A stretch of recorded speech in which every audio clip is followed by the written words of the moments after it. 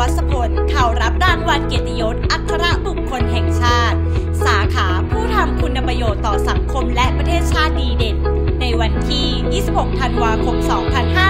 2564 ณ โรงแรมอมรีดอนเมืองแอร์พอร์ตกรุงเทพ ซึ่งภายในงานมีบุคคลได้ถูกเสนอชื่อเข้ารับรางวัลในสา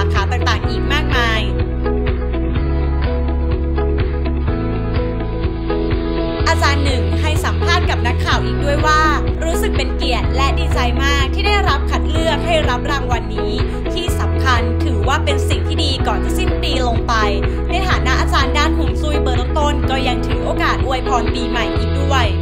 ทั้งนี้อาจารย์หนึ่งพานุวัฒน์ยังมีอีกหนึ่งงานที่สนใจเป็นอย่างมาก ก็คืองานด้านวงการบันเทิง ในฐานะของผู้จัดและนักแสดง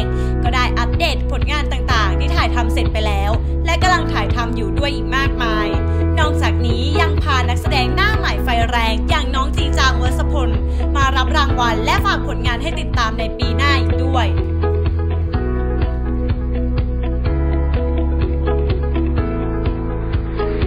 ครับสวัสดีครับผมอาจารย์หนึ่งนะครับ ครับ สวัสดีครับผมชื่อจริงจังนะครับผมครับสวัสดีครับผมชื่อพีนะครับผมอาจารย์ค่ะวันนี้อาจารย์มารับรางวัลอะไรยังไงคะอัครบุคคลแห่งชาตินะครับอัครบุคคลแห่งชาตินะครับ ถือว่า เป็นรางวัลที่มีเกียรติมากๆเลยนะครับ ก็ต้องขอบคุณสำหรับรางวัลนี้ด้วยนะครับ มันทำให้เรามีชีวิตชีวาที่จะมีกำลังใจในการสร้างแรงบันดาลใจ หรือในการทำงานอะไรเกี่ยวกับสังคมนั้นต่อไปอีกครับ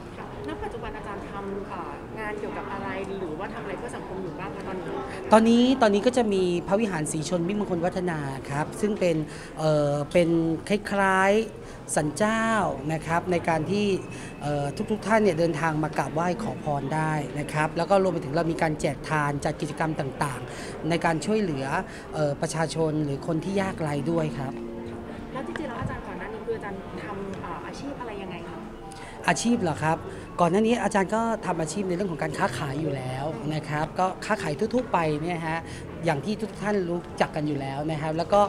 อีกอย่างหนึ่งเนี่ยตอนนี้ก็คือก้าวเข้ามาสู่วงการบันเทิงด้วยส่วนหนึ่งนะฮะก็จะมีงานในวงการบันเทิงเนี่ยเข้ามาด้วยครับ คือจริง ๆ แล้วเนี่ยเราเป็นคนชอบวงการนี้มาตั้งแต่เด็กนะ เขาบอกว่ามีโอกาสแล้วก็ต้องใฝ่ฟ้าโอกาสจริงไหมฮะ ฉะนั้นพอมันมีโอกาสเราก็เลยได้ก้าวขึ้นมาจากการที่เชื้อเชิญของผู้ใหญ่บ้าง หรือว่าคนที่เรารู้จักกันในวงการด้วยครับแล้วก็เลยเดินกันมาเรื่อย ๆ จนถึงปัจจุบันเนี่ยฮะ อาจารย์ค่ะแล้วในส่วนของเรื่องเกี่ยวกับพวกศาร์ฮวงจุ้ยหรืออะไรเงี้ยค่ะอาจารย์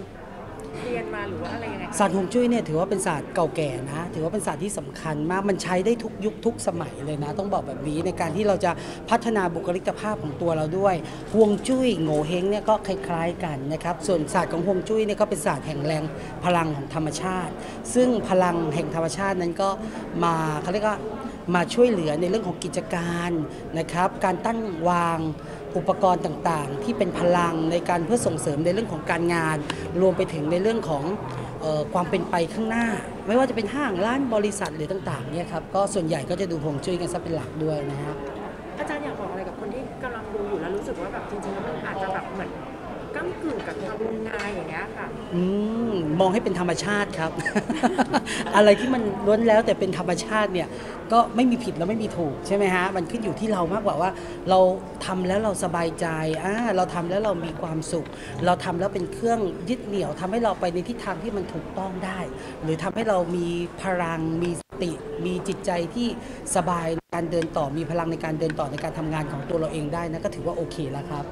สุดท้ายแล้วอย่างที่ คุณผู้ชมที่ทำอยู่สามารถไปติดตามผลงานอาจารย์ได้ทางช่องทางไหนอะไรยังไงบ้างหรือว่าโอ้อาจารย์กำลังมีอะไรที่แบบอัปเดตล่าสุด ได้ครับหลายช่องทางเลยนะ ก่อนแรกก็เอ่อ YouTube ก่อนแล้วกันเนาะ YouTube ซิงแซจัดให้นะครับ ใน YouTube ก็จะมีข้อมูลต่างๆ ในเรื่องของการแก้ปีชงด้วย ซึ่งปีนี้เนี่ยสิ้นปีแล้วใกล้ที่จะปีใหม่แล้วนะฮะหลายๆ คนก็จะหาเอ่ออะไรต่างๆ ในการที่จะปรับดวงชะตาของเรานั้นให้แข็งแรงและมั่นคงได้ เมื่อดวงชะตาเราแข็งแรงและมั่นคงเนี่ยมันก็สามารถที่จะ เดินต่อในเรื่องของธุรกิจการค้าของเราได้นะครับ อีกช่องทางหนึ่งก็คือทาง Facebook พานุวัฒน์นะฮะเฟซบุ๊กพานุวัฒน์เช่นรัตนนท์นะครับ เป็นภาษาอังกฤษ แล้วก็อีกช่องทางหนึ่งตอนนี้เนี่ยกำลังจะมีเพลงด้วย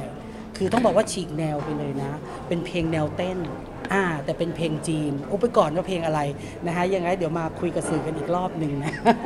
แล้วก็จะมีผลงานละครด้วยนะครับก็ต้องฝากฮักเจ้าอีลีเดอร์ไว้ด้วยนะครับซึ่งฮักเจ้าอีลีเดอร์เนี่ยถ่ายเสร็จไปเรียบร้อยแล้วนะครับแล้วก็จะมีเอ่อมี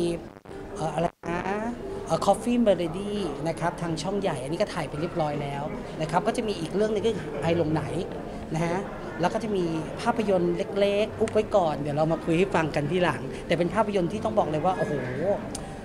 เป็นหนังผีละกัน ซึ่งน่ากลัวนิดนึงแต่เป็นอะไรที่สนุกครับ ก็อยากทำงานในวงการไปเรื่อย ๆ ก็ต้องขอบคุณผู้ใหญ่ที่สนับสนุนด้วยนะครับ แล้วก็ขอบคุณทุกๆสื่อด้วยนะครับ ที่สนับสนุนอาจารย์ด้วยเช่นกันนะครับ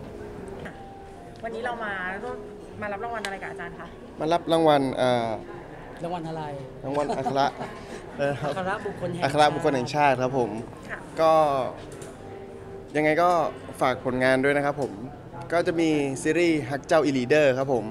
แล้วก็ภายในปีหน้าก็จะมีภาพยนตร์ครับผม ก็ได้เป็นตัวหลักด้วยครับผม แล้วก็จะมีละครของช่อง3ครับผม ไอลงไหนครับผม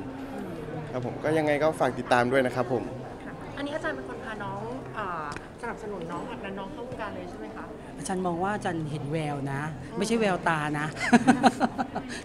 อา จารย์ว่าเขาน่าจะไปได้นะครับ ยังไงเราก็ดูแลซึ่งกันและกันจารย์ว่าน้องเนี่ยเขาเป็นเด็กดีด้วยนะครับ ก็ต้องฝากไว้กับผู้ใหญ่ทุกท่านด้วยนะฮะ แล้วก็มีความสามารถหลายด้านมากเลย ไม่ว่าจะเป็นเรื่องของการเต้นอ่าแล้วก็ร้องเพลงด้วยอ่าเดี๋ยวจะมีเอ่อเพลงของเขาออกมาด้วยนะครับ ในช่วงประมาณกุมภาเร็วๆนี้นะฮะ แต่ตอนนี้อยากให้ทุกท่านนะฮะติดตามด้วย เพราะว่าจะมีละครแล้วก็มีภาพยนตร์ด้วยครับตามๆกันมาเรื่อย ๆ เลย ก็ต้องฝากสื่อทุกท่านด้วยนะครับสำหรับตัว feedback จากการที่เราเข้าสู่วงการบันเทิงมากน้อยแค่ไหนคะก็คาดหวังพอสมควรนะครับ ก็เราก็พยายามทำให้ดีที่สุด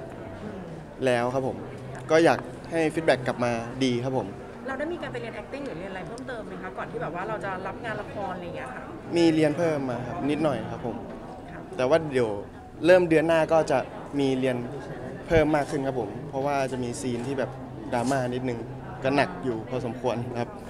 ค่ะ ขอกำลังใจจากแฟนๆสักนิดนึงให้ติดตามผลงานเรา เพราะว่าก็หลายงานเหมือนกันค่ะได้ครับผมยังไงก็ขอฝากติดตามผลงานของผมด้วยนะครับ เป็นกำลังใจให้ผมด้วยนะครับผม